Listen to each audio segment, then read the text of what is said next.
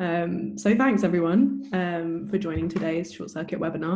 Um, in case you don't know me, I'm Alice. I'm one of the talent executives for Short Circuit, um, which in case you don't know is a programme for new and emerging filmmaking talent in Scotland. Um, so before I introduce our guests uh, here with us today, I just want to plug some of the opportunities we have open at the moment. Um, one is Convergence, which is an intensive screenwriting course for writers and artists coming from other mediums looking to transition to film. Deadline for that is the 5th of January. Um, you can find more information about that on our website um, and get your applications in over Christmas.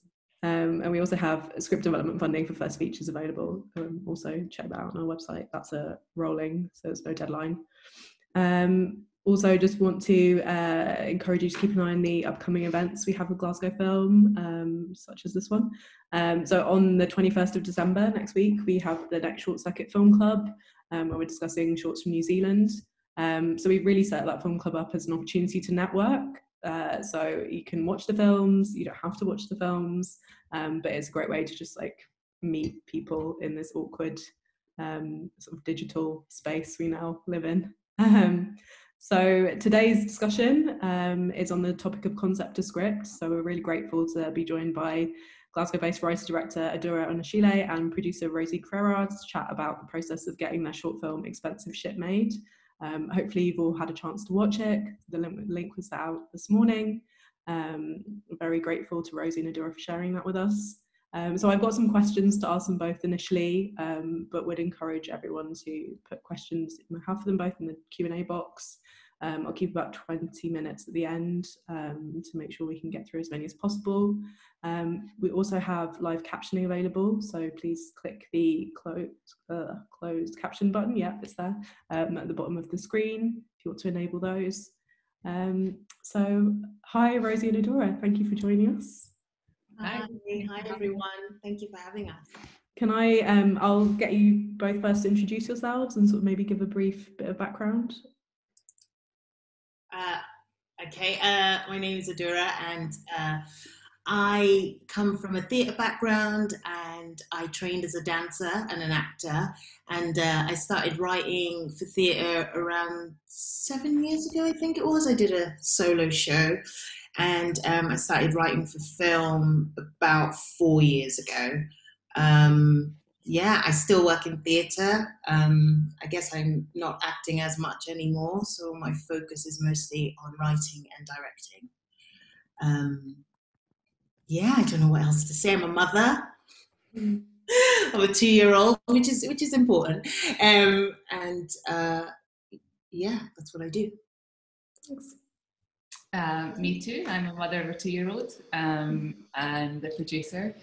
I set up Barry Crerar with my business partner and pal, Ciara Barry, uh, back in 2016 with the support of a BFI Vision Award. We had worked together maybe 10 years before that um, for like on a kind of previous incarnation of Short Circuit, which was um, with um, UK Film Council back then. So we were developing shorts um, as development and production execs within that initiative. We also, I was producing shorts alongside that and um, had worked for film festivals. I kind of straddled, as a lot of producers do, many different um, things. Uh, so it's been a long and windy road, I think, to get here. But yeah, film festivals. I founded the Glasgow Short Film Festival. Um, I then went to Australia and worked for Flickerfest and Sydney Film Festival. I also worked in talent um, script development for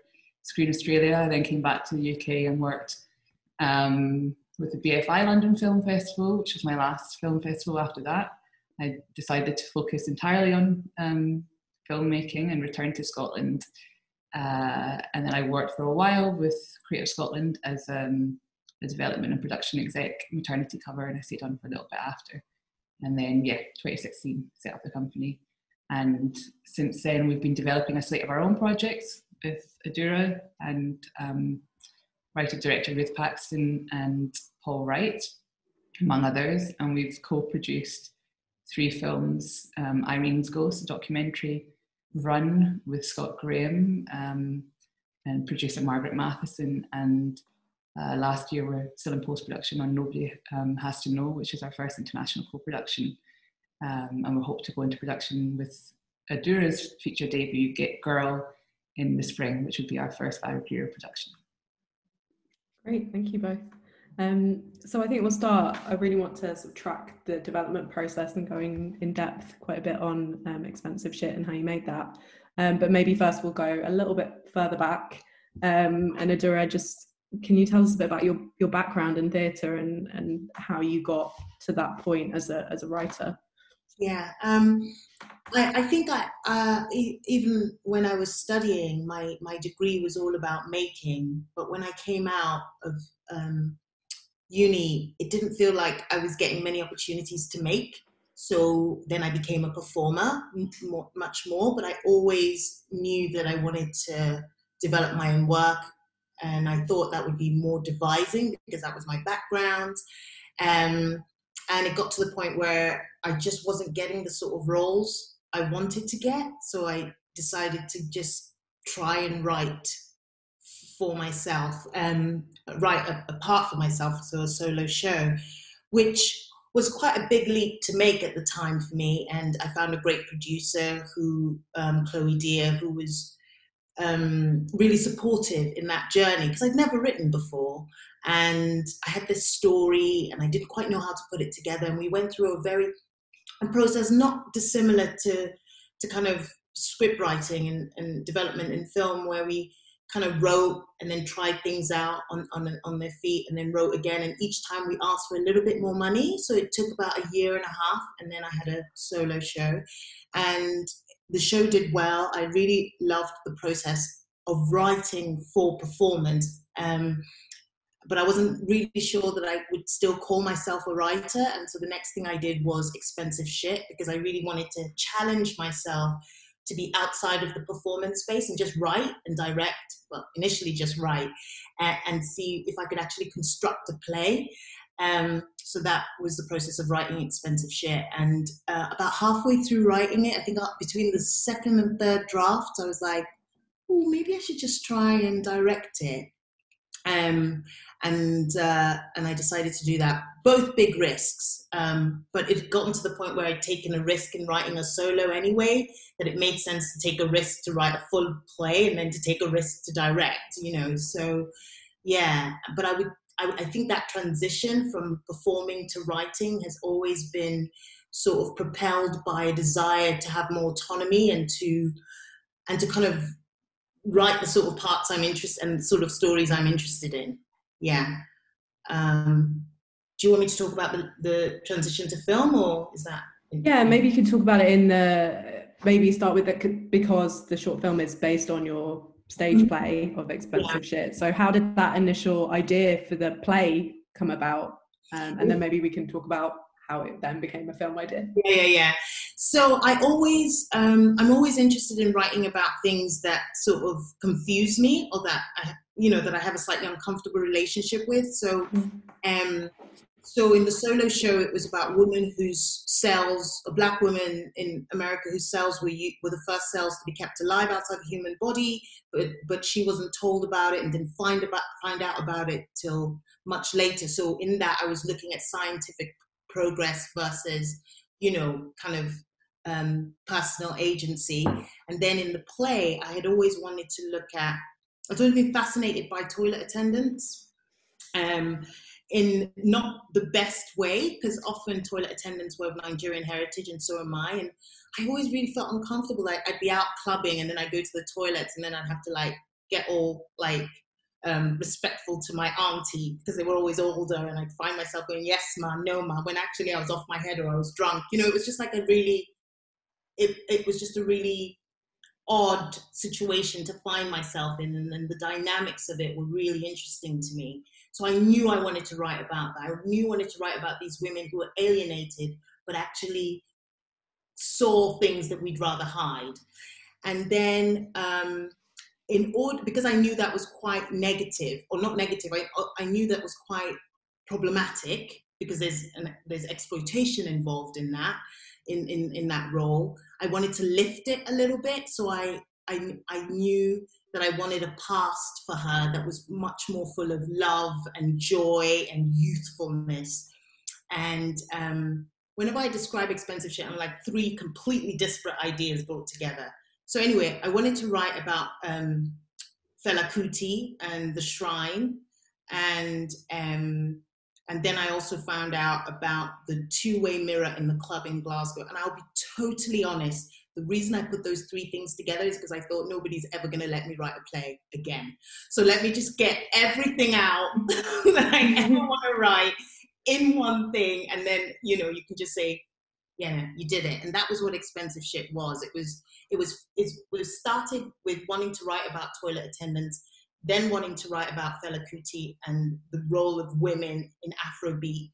Then I found out about the Shimmy Club in Glasgow, and it just seemed like three seemingly really disparate ideas um, came together, and I constructed that the play out of it. So the play was set in Glasgow in 2013 and in Lagos in Nigeria in the 1980s. And it had the exploitation of women in club culture, but also the exploitation of women from the Afrobeat scene in sort of um, Fela Kuti's revolutionary um, politics.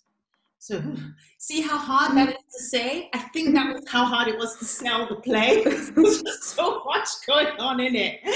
Um, was there any point in the writing of the play that you were like, I don't know how I'm bringing all these elements together? How did you uh, push uh, through that?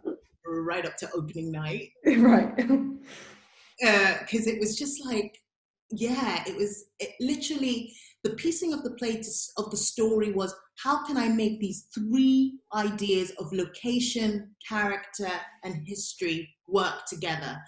That was, and in a, in a, in a way, that kind of saved me from the, oh, am I a good writer or bad writer? The, um, the aim was just make this hang as a story together. And once I felt like I, I, I sort of did that, then it felt um, like I'd, I'd achieved something. I, w- I was never totally convinced by it, mm. but at mm. least it didn't totally feel like three disparate ideas by the time mm. it got to um, it got on stage. And I suppose your question is, what was the writing process like? Yeah, that was it. So it's not till afterwards, and I still question whether I'm a writer or not, because I didn't come at it from three act structure or five act structure.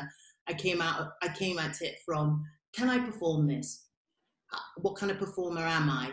To can I put these three ideas together in a way that makes sense? And it's only now in the transition to writing for film that I've much I'm much more grounded in structure and acts. Um, and I think sometimes as a writer, you do things um, on instinct because we're all storytellers, and um, but but it's really important to, under, to understand the discipline of it as well and the structure and the structures that work. Mm. Yeah. Um, I'll bring Rosie in now, and um, because Rosie, I think you saw um, expensive shit. Was it Edinburgh Fringe that you saw it? And you, from seeing the play, you, you sort of recognised that um, its potential to be adapted for the screen. Can you talk about maybe what it was in Adura's work that you saw um, I mean, it was, I guess, multiple things. We were um, obviously struck by its visual potential. I mean, the staging of the play, so it was, it was set in a toilet, um, a club toilet, uh, which also kind of crossed over into a dance floor in places. But the um, the audience, you were behind the mirror, so you were looking onto I mean, there was there wasn't a mirror, obviously, but you as the audience were behind this imaginary mirror, this this fourth wall, and um, so it raised questions thematically around complicity and perspective automatically. And I loved that from from the get go, you were kind of forced into, you know, challenge. You had you were kind of put into um, a perspective to try to kind of think about how you were perceiving these characters and how they were playing against each other just by your where you were positioned as an audience member as well right physically. Um, and i just thought there was a lot in adura's writing especially around her characterizations as she's mentioned that was really exciting in terms of the complexity of those characters. Like adura's always really interested in in those uncomfortable truths sit side by side, you know, and and and not having kind of stereotypical characters in that way. But so yeah, it was the characterization, it was the, the potential for the visual uh, kind of expansiveness of it and um, how immersive that felt and the unique perspective that we had like i feel that we haven't seen in scottish cinema to date you know or on screen to date um, and so we approached Adura off the back of that and we had um, i think we had some coffees at the CCA in Glasgow, and it was actually kind of more broadly, you know, when we were setting up the company, it was um, we had a because it was in 2016, we had conversations with a few people, and it was, you know, we recognized Adura as somebody that we were really interested in working with, and then sitting down and having a conversation with her about what would that be, how would we work together, and what, and it was quite organic in that way. Um, you know, we were interested in expensive shit, but we were also interested in um, talking more broadly about other projects that we could work on together. And um, in the end, we adapted Expensive Shit. It's obviously a very different um, story to to the theatre production. You know, we mm. by its nature, the as a short film, we zoned in on one particular element, and it became, as I'm sure Dura will talk about, something unto itself. Um, but then we had maybe a, three or four other projects, other ideas that Adura had and shared with us, and then we talked around those and centered on um, Girl, which is a feature project that we have with Adura as well. Mm. So where you, um, we'll go into the sort of um, script development process in a second, but I'm just curious because um, it seems to link quite nicely about the strategy of like as a producer um, how you're going to work together with Adura and develop as a talent. So were you already thinking about the feature at that point, um, and talking about Girl as an idea, and then how sort of how can we get Adura ready for Girl? What are the steps we need to take to get her there? Yeah, sure. Um, yeah, we're always thinking about features. That's where we want to be, mm. Um, and so it was bridging that journey. And I think we recognised that you know she was somebody that hadn't written for screen before, and so uh, you know, we could adapt, we wanted to adapt the feature, but uh, to develop a feature, but also felt appropriate to, to work. And we loved expensive shit, and we felt that we wanted to see that on screen as well. Um, so yeah, we started. The ambition was we started off with expensive shit, and then uh, in kind of in tandem, we were talking about uh, Girl, the feature as well. And so the sh- the ambition was to do the short, if I remember rightly. It, it's kind of we've had babies in between. It's all become a bit convoluted, but um, that we were going to develop. Yeah, we started to develop the short, and meanwhile we were developing the feature. And the ambition was that Adura would write and direct the short, and that would be a stepping stone to to the feature as well.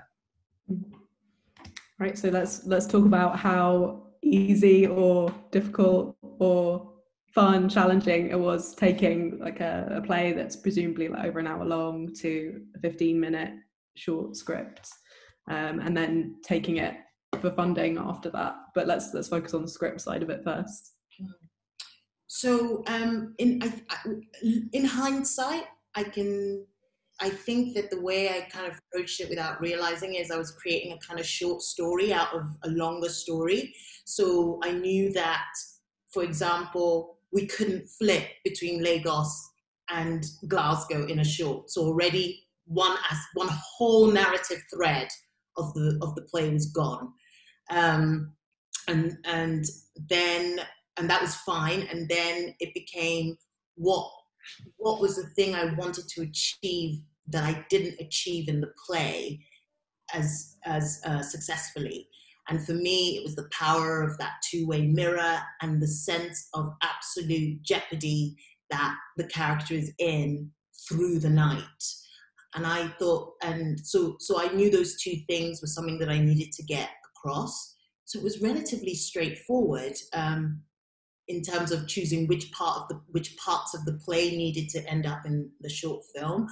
But then there was a whole process to go through to making it a short film that worked and we did um, a development process with SFTN that was that was similar. Obviously, that you guys do as well, where there's a whole heap of us, and then half of us are taken on, and we go through the whole process of writing and rewriting and workshops and development. And so we went through that with expensive shit, and um, and it just kept homing in, honing in, sorry, on what what are the essential story beats? Because when you're doing a short film there isn't you I mean you could do a short film however you want but for us because it felt very much like it was being propelled by the jeopardy that Tolu was in then it was how do we how are we really succinct with those beats and it was a it was a process of honing in and honing in and getting rid of all the stuff that you presume you need and going straight to it and what is it people say get in late and leave early um, mm. was sort of uh, something that I understood more and more through that process.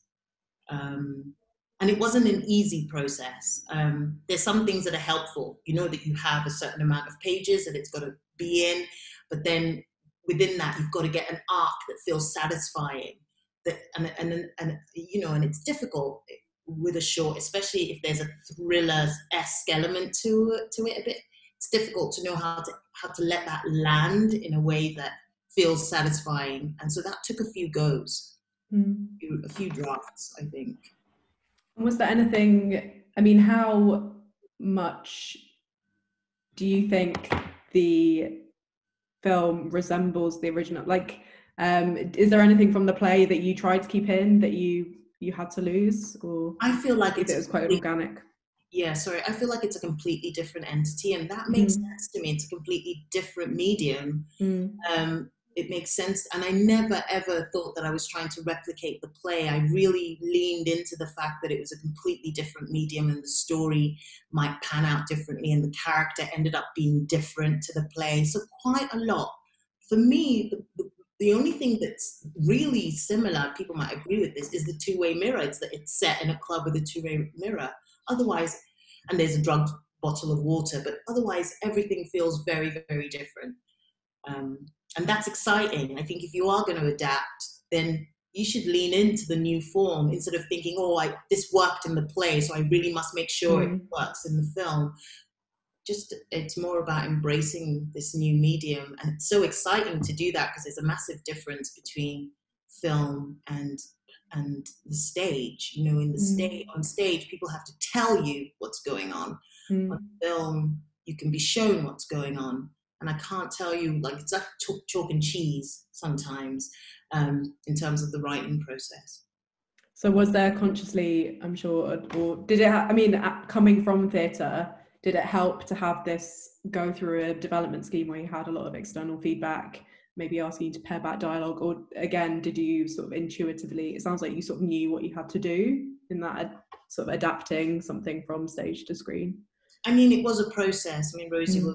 Will, agree it's it was a process of learning but it was learning mm. by doing and mm. i learned best that way anyway so um uh i can't remember what your question was now what was it what did you just ask I'm not? Sure, I'm not sure really was it a question? It I think it. The schemes that you've been through, was it? I think just knowing, like, maybe what is the big difference, I suppose, in in formats. Um, um, and I, but I have to be really careful because if I'm making judgments about theatre and film, it's about the kind of writer I was in theatre.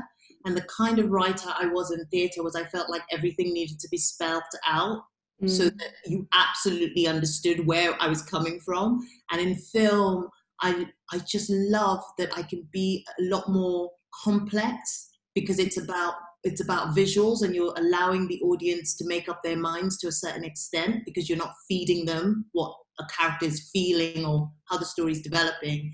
So film feels a lot more exciting to me because because of that complexity.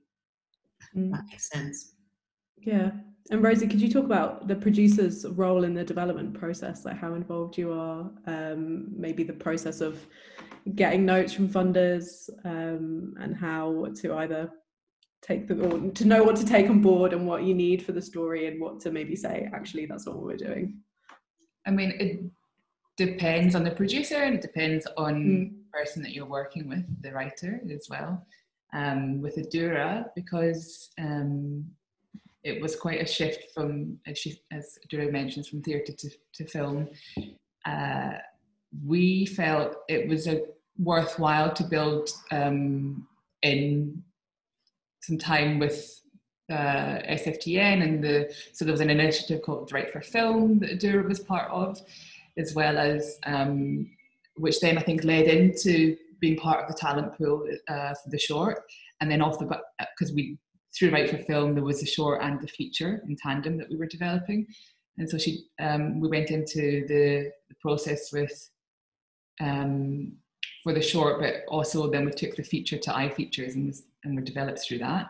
So it was quite scheme heavy, I suppose, and we wouldn't necessarily always work in that way, but it felt useful to have you know, we, we hadn't worked with theatre writers before either, so it felt useful to work specifically in a, um, in a way with, you know, we had, I think there were a number of people in Write for Film who'd come from theatre and it was kind of designed to kind of help bridge that transition in places. Um, I think as a starting point, it was useful. But as we move forward, um, uh, we've kind of ended up just kind of developing ourselves. You know, I think you know through the short there were quite a lot of people involved. There were quite a lot of voices in terms of the execs who were really, especially Paul Welsh, who was really supportive and um, a real kind of asset to the development process. Um, but as we've moved forward with the feature, we've kind of it's become less and less, and it's and I think now it's more it's Dura myself and and Ciara, and it's and we've got to a point that we're really happy with with where we're at with it. But um, in terms of what a producer, so yeah, I mean, I guess with Ciara and I, you know, we have kind of different functions. Like I lead on development, and Ciara, um, we both produce everything together. But um, Ciara leads on more physical production, uh, and with um, in terms of developing projects, we kind of, you know, you have a version of this of the we work on a draft or whatever of the treatment and then to the to the draft quite a lot internally.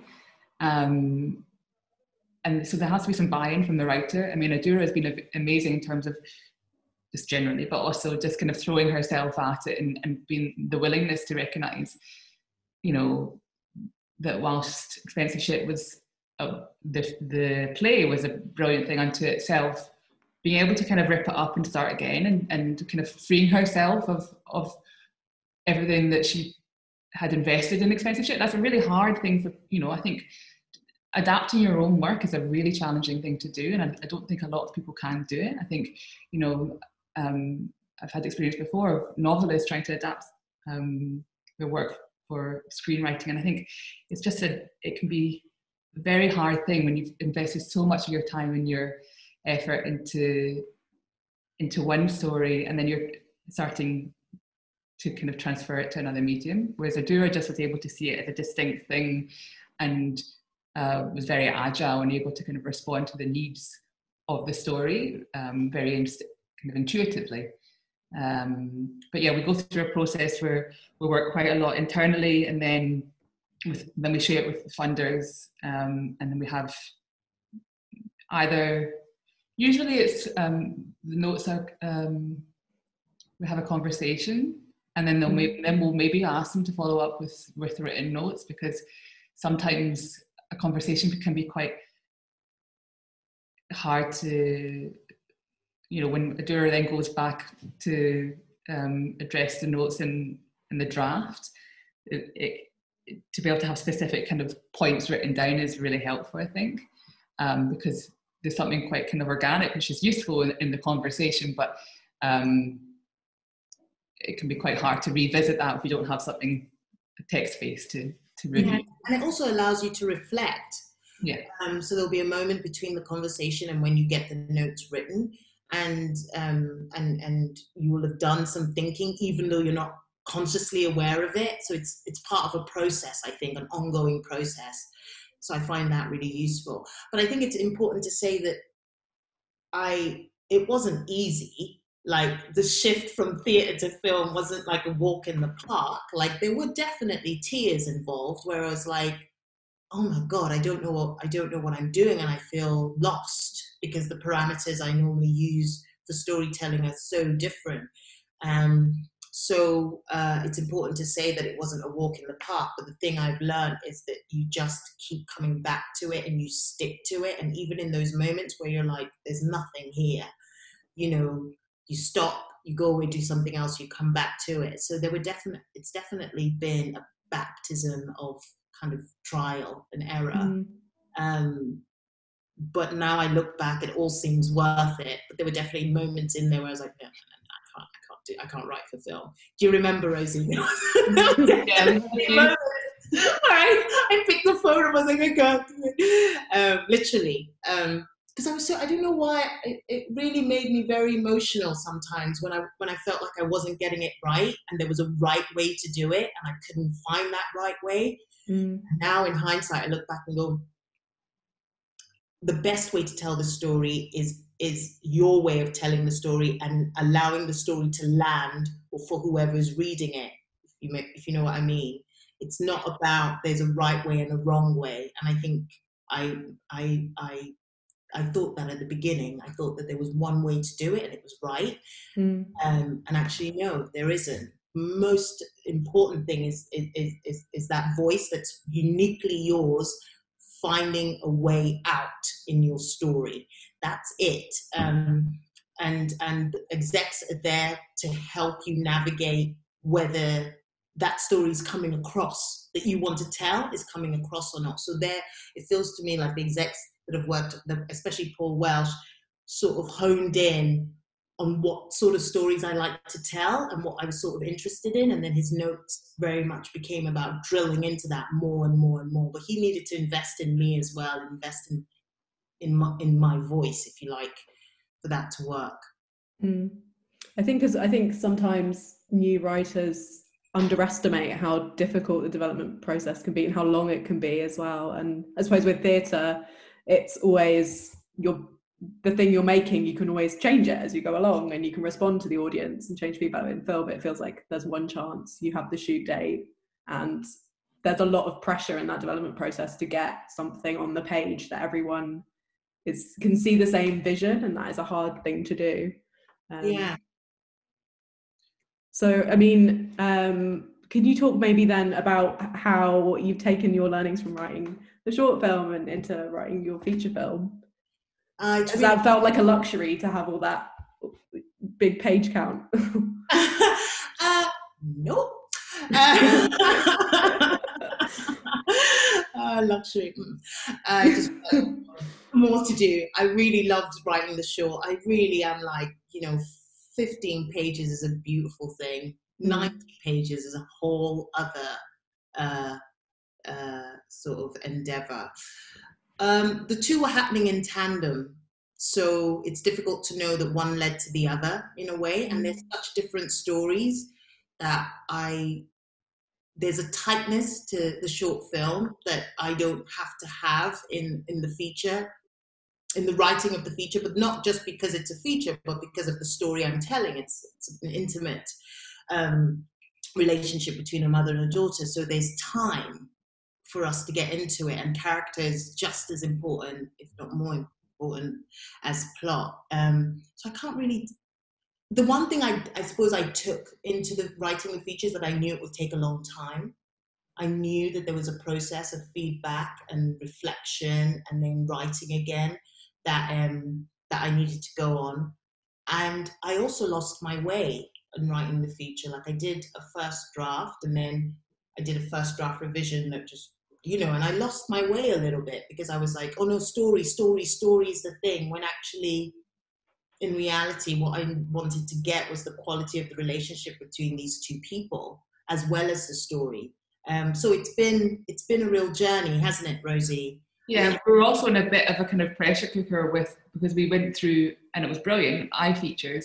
Mm-hmm. there was definitely a frame that we were, um, you know, in terms of the drafts that we were delivering within, which isn't you know, obviously, you know, the timeline is really important, but sometimes, especially with the first time writer, you you know, it it can take longer, right? And so I think that when we got to the end of iFeatures and it was first draft revisions, oh, it was up to second draft revisions. Yeah, it was.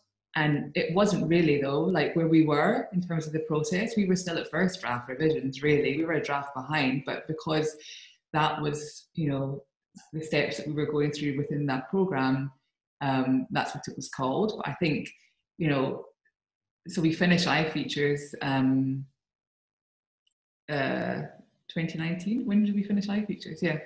And it's been like a year since then. And so it's gone through, I think, well, it's been more than a year since then, and it's gone through so much more. Uh, it's had such a bigger journey, I think, post features than it did because it was, you know, it was a brilliant initiative, and it's it, it was great to have that kind of profile, and it's definitely helped in terms of keeping momentum and getting to us the point now that we're financing the film to shoot in the spring. But um, at the same time, it, it you know, to navigate that and all the opportunities of that whilst trying to focus, as Dura says, on the core of the story and the characters and, and trying to keep that front and centre was quite a challenge with everything else kind of, you know, um, going on in tandem, as well as in the short. I mean, basically, we just like chucked it all in the Dura at once. Said, Here we go, let's just do this. And and so, of course, it was a roller coaster at times, but I think you know we've come through the other side of it now, and, and it's you know the proof is in the pudding i mean and i think that it's what we said before as well about how you take notes and whose notes to take and um, i think i definitely used to take notes on the nose and mm-hmm. think that i need to just do what the note says when actually all the note is telling you is that something doesn't work doesn't you know the note shouldn't tell you what to do they should they should give you room to go off and find how to solve it for yourself and i think with iFeatures there were a lot of execs over it, and I I often felt like I was getting different steers from different people, and because I mm-hmm. wasn't absolutely confident in my capabilities, I definitely went down rabbit holes that had nothing to do with my what the story I wanted to tell. I'll just be really honest. It's like, yeah, you know, I was like, oh, you must be right because you've been doing this for ages.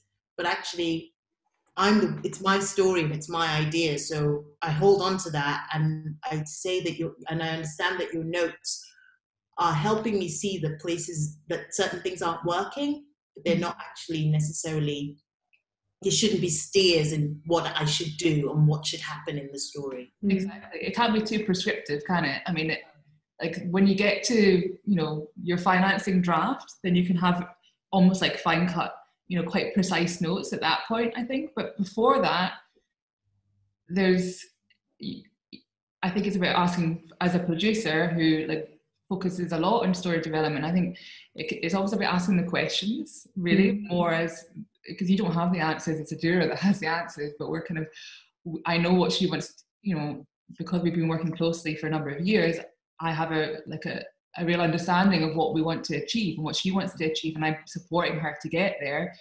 And um, it's asking the questions of, of why things aren't working and helping her kind of, you know, probe it. But ultimately, it's a Adura that's coming up with the answers. And I feel, you know, uh prescriptive notes aren't aren't really helpful to process, especially too early on when when you're finding your voice as a writer, but also when you're finding um, the story as well.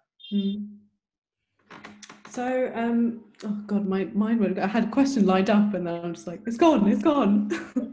um, but what, I, I know it's come back.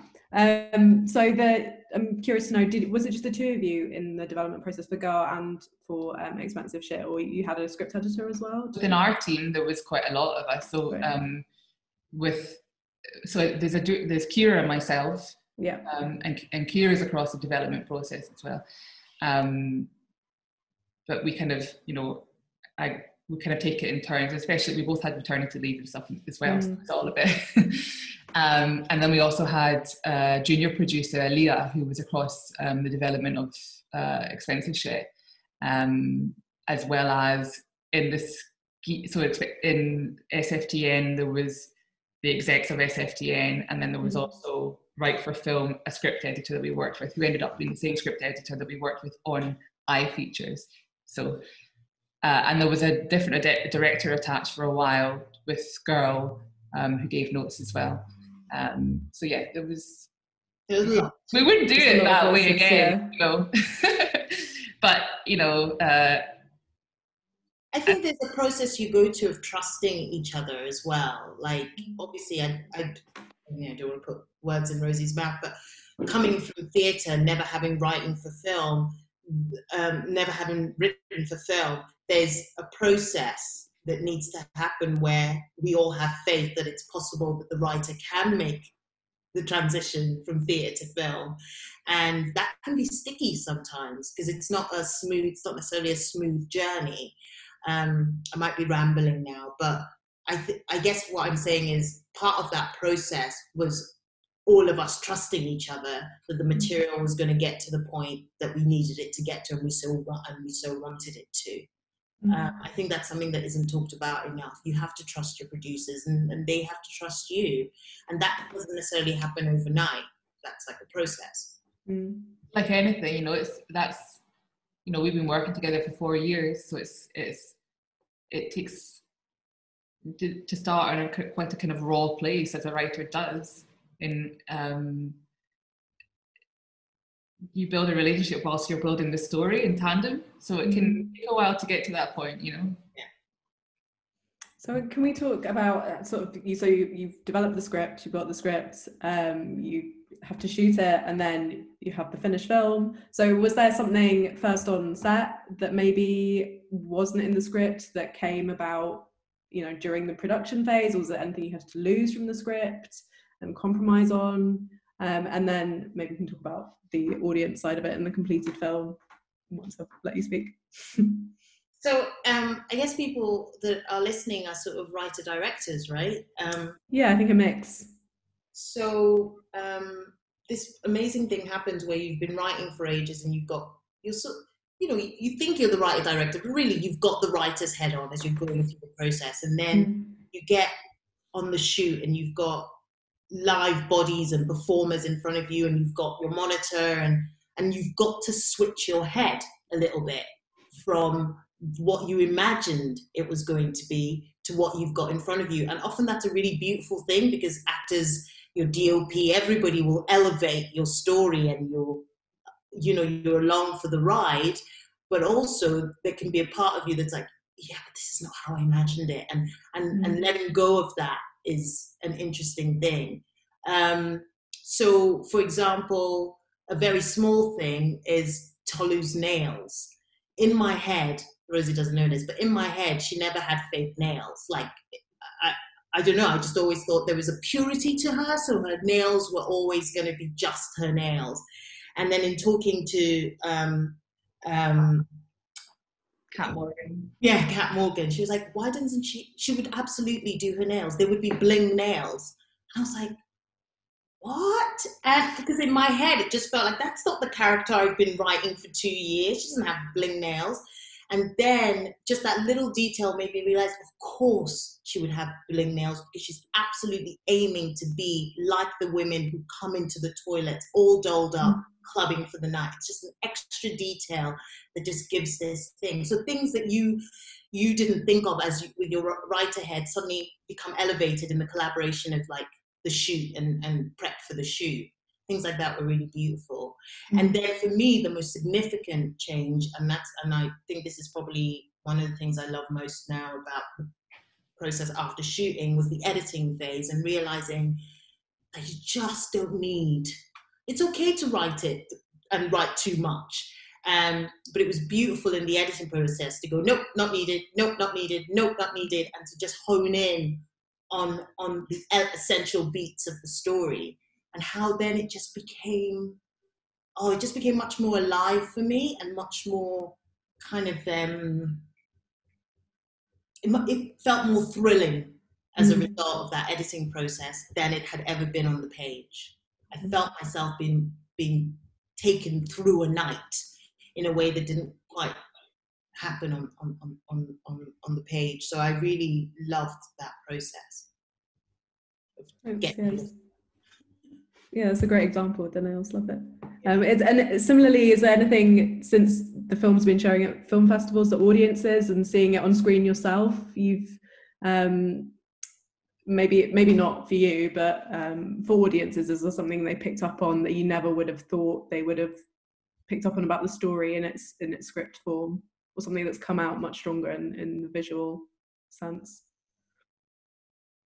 can't think of that. No, I can't. Im- I haven't really spoken to lots of people about what they. Think. I mean, that's the challenge. It's still in there, and yeah, we're in 2020. We're COVID time, so yeah. But um, but I certainly feel like, from my point of view, the things that I would want to take into the feature that I've learned from the short that I didn't know about before the short, because I was new to filmmaking. I felt because of my theatre background, I felt comfortable with the act, with actor and performance. Mm. uh, I was more ignorant about the technical aspects of filmmaking. So I think there was there was for me watching the short now. There's a kind of visual bravery that it doesn't have. Um, it feels quite realist, quite conventional in the way it's it, it, it's shot, um, and that's fine. But I think going forward, the visual storytelling has to be as distinctive as the plot story or the character story you know? It's like another layer and and there's like room to um there's room to be brave with that. And i know that now and, and i didn't know that as much before and i'm excited by that um in a way that before i was just a bit oh i don't know enough about that i haven't been to film school i you know i don't i don't know lenses and angles and all that kind of stuff. But I knew story, and that that is good, and that is a really important element. But um, somebody said to me recently that these days, when you make films, your visual language has to be as distinctive as the story. That's what film is demanding now, and that's Mm. really exciting to me. Well, I think you nailed it with the look of um, expensive shit. Like, it's not easy to. It's quite a challenge to shoot in a club and make it feel like it is, you know, a club and there's people in there and music and lights, and you've got all that in there. So, Good, it's good to hear. Thank you. um, so I'm going to go to. I've, I've sort of reneged on my promise a bit and gone in a bit late for the questions, but please keep typing them in. Um, so, go on from Esther saying, um, I know said you had a few trainees on the production. Any advice for new graduates or young people trying to forge a career in production in 2020? What's the best way to make yourself stand out with the job market so flooded at the moment? That's for you, Rosie. I think. Um, yeah, I think it's as a producer, it's really important um, for me to always think about the next, you know, who's coming through and to support people coming through as well because it is particularly now um, can be a challenging industry to to navigate and get into. So um, I think if you're a graduate, you're you're probably in a good place because there's already um, you know as a starting point th- there should be networks around the university um, and th- they can should be able to support you with that transition. There's also uh, a number of um, like screen skills and training schemes. So as part you know for publicly funded film there's a requirement um, to bring in uh, a number of trainees. Uh, so there's initiatives I think um, that you can sign up for, uh, and also obviously like the short film program that um, Short Circuit are running. You know there'll be crew uh, needed for that, and of, and often there's training kind of roles within within those too. So I think it'd be it's worthwhile kind of connecting in with um, Short Circuit, with also with um, Creative Scotland, BBC uh, screen skills any of these kind of organizations they should there should be opportunities through that as well as individual filmmakers you know uh, production managers are, are a good way film buying is a, is a good resource Thanks, Rosie. Um, question from Linda. Uh, Adura, I was wondering if you found the two-way mirror before shooting and it inspired you, or did you try to find one after writing the script? uh, that the, the set was built for the film, so that, that's a set that the film is set in. And, um, and the two way mirror was in the play, so uh, and it was based on um, a, a, a, true story or a real location. So I suppose the two way mirror always inspired an aspect of the story and definitely inspired us moving into the film because it was one of the most visual aspects of the play. Um, so it needed to feel in like a location that was central to the film, those two spaces. Does that answer your question? Does that answer the question? I think I think so. Um, so Sophia says, uh, Adura, was it hard directing? What challenges did you face when coming on the helm? Was it hard directing? It was a baptism of fire, literally.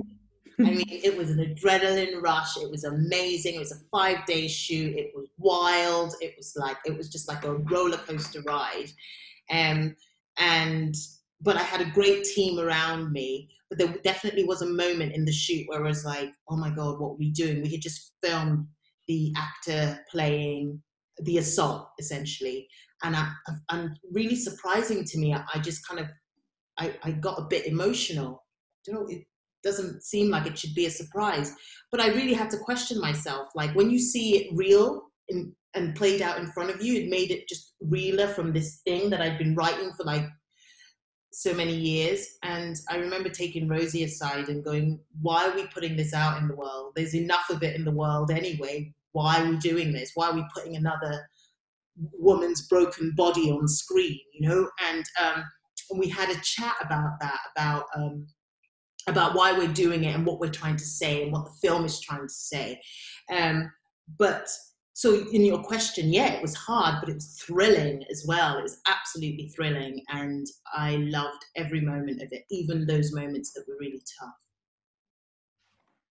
Thanks, Dora. Um, so Shirley asked, oh, sorry, sorry, Rosie. Did you say did you say something, Rosie? Or no, did I? No, I Sorry, so. I am hallucinating, clearly.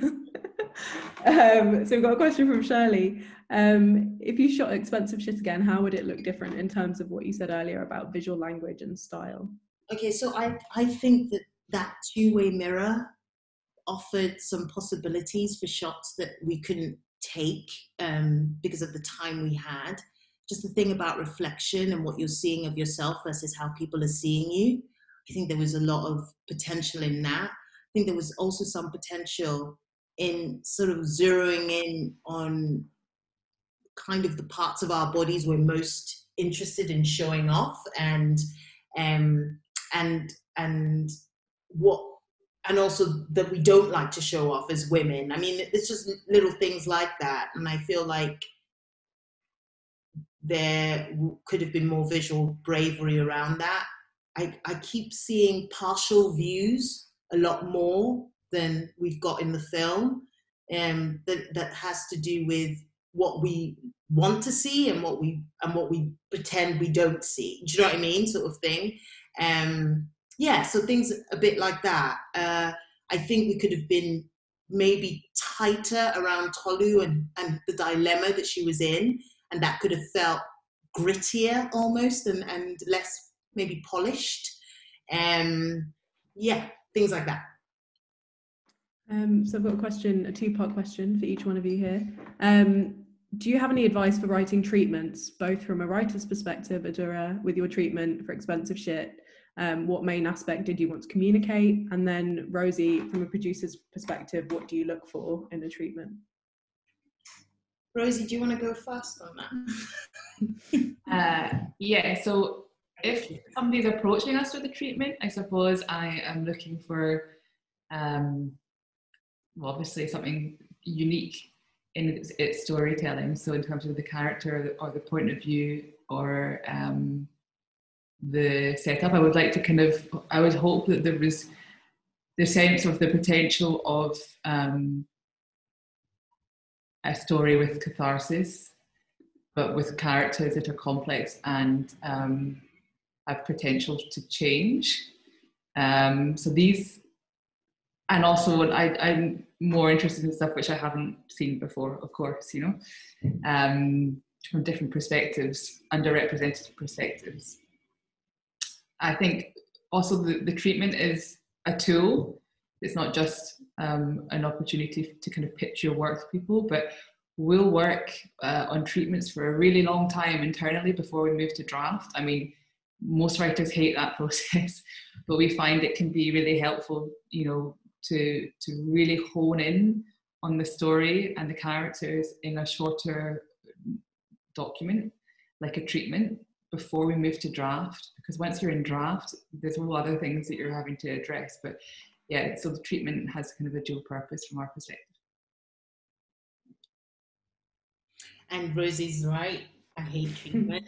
uh, but uh, essentially, they are absolutely essential to essentially they're absolutely essential to writing your first draft um, because they're a blueprint you know? And um, of course things can change and you can go in different directions but if you get it right in a treatment you get the arc of the characters and the arc of the story it makes it easier to write this, your first draft. So it is definitely something that i'm glad is around even though it's hard to do. Um, and it was hard for me to do but yeah i think it's just really really necessary. And the best advice i got for that first moment of writing your treatment was pretend that you're talking you're telling somebody the story in a pub. Just what would you say? What's important to you? What, what would you highlight? What bits of the story absolutely have to be gotten across? Mm. And and that was just a really good way of a first draft as opposed to thinking oh there's a really there's a right way to do this and i I'm, and i can't get it just get it out like you're just chatting to a friend about it as a, as a, as a first go, and then it becomes about tweaking it around tone and style. But that that felt to me like it came from it came after being sure what the arc of my story is. But it still changed a lot once I got to first draft. But it, it felt like solid scaffolding going into the first draft, which is good. Mm. No, that's really great advice, especially for people out there that are writing their first features applications to apply to us, because we ask for that sort of story outline and um, yeah, like you're telling somebody in a pub what your story is. That's what we want to see. Um, so I'll try and answer all the questions that are here, if if that's okay with you both. Just to, got a couple more. Um, so Adura, how did you manage the pacing and adapting to a short film? Did this happen mostly in the edit? Would you what would you think that what do you mean by pacing? I don't know what pacing like.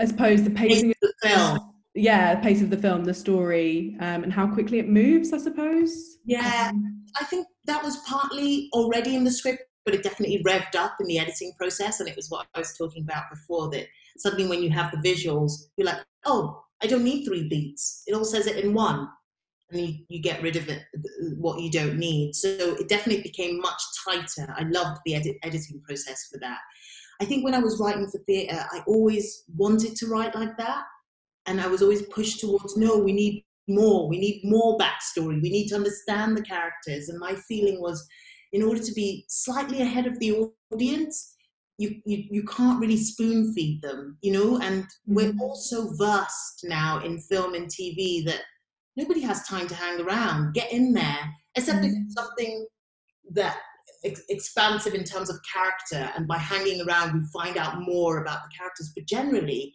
to be in front of the audience, you need to be quite brutal with those beats. Yeah. Um, I'm just conscious of time. Okay, right. Let's do a quick fire round.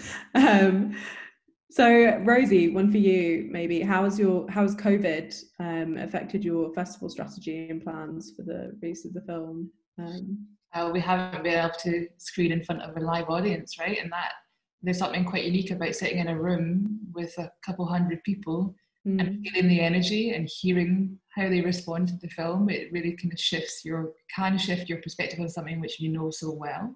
Mm. Um, so that on a kind of on a personal level and for Adura as a, as a new you know writer director for screen there's something unique about that that I you know we've missed out on um, and then in terms of the the future life of the film it's kind of been an unknown you know because as long as the pandemic goes on every festival announces um, how they're going to manage you know and um, what kind of festival they're going to be able to offer. So there's been a kind of, I guess, an increase in this hybrid form of, of online and um, physical festivals where possible. So we've, I suppose, been more open to online um, screenings than we would have necessarily done been before, because you know, recognizing that um, physical uh, screenings are going to be limited and reduced, and so therefore there's going to be less opportunity to to be selected for a festival that is um, operating in a kind of a third of what they would usually be programming. Mm. So we have taken opportunities to yeah to screen online in a way that usually you would hold back your online life of the film until um, maybe a year after you'd had your festival life, right? Um, but it's definitely been much more in tandem. We've had to be quite kind of reactive to what um, and take opportunities as, they, as they've come, you know, rather than knowing because the landscape's been changing so much. Yeah, it's a shame that we can't sort of engage with you guys as an audience today because we do have a, a number of people here that have just watched the film.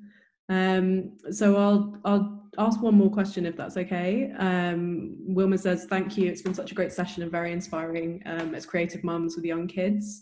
Um, what's your advice, Adura, for get for a brand new writer in getting their writing started?" Um, I think it's oh, brand new writer getting your writing. Uh, I think schemes like Short Circuit are doing are really good. I think doing as many kind of workshops as you can is really useful. Um, try and stay away from there being a right and a wrong because there isn't. There's your voice, and what you're trying to do is hone in on your voice and and get that out in the best way possible, and that's a process. But I think, um, yeah, it's been really useful to me having Rosie and Ciara and having that support and for the moment where I felt like I couldn't, I didn't know what I was doing or I couldn't do it. So I think having people around you that you trust um, and that you can be supported by through what is a really difficult process sometimes is really useful. But also just have faith that you, as a unique person with a story to tell, that you definitely do have a story to tell and it's worth telling. Mm-hmm. Um, I think sometimes we don't we don't believe that about ourselves, but I think we should. Thank you. That's a very inspiring note to end on. Um, so thank you both so much for speaking to us, and um, we look forward to seeing Girl. Um, and best of luck with it next spring. Thank you so much. Thank you, everybody, thank you for having us. Yeah. yeah. Um, I'm just going to do a quick plug for our um, feedback survey, which Laura's posted in the chat. If you could take a couple of minutes to fill it in, we'd really appreciate it. Um, and Adura's kind of mentioned the value of like schemes and training opportunities. So we have Convergence open now. Um, please do apply. Um, we have the Short Film Club next week, and we also have another screenwriting themed event, um, which we're announcing in January, uh, which has a new sort of peer-to-peer kind of format. It's quite interactive. It's going to be led by writer-director Catherine Lindstrom, and she's going to help you sort of shape your film idea. So it's an idea that you actually bring your um, idea to workshop through that session um, and take into script form. Um, so look out for that in January. Follow us on social media and subscribe to our newsletter to find out about it. So thanks again, both of you, and have a lovely Christmas, everyone. Thank See you, you in 2021. Bye.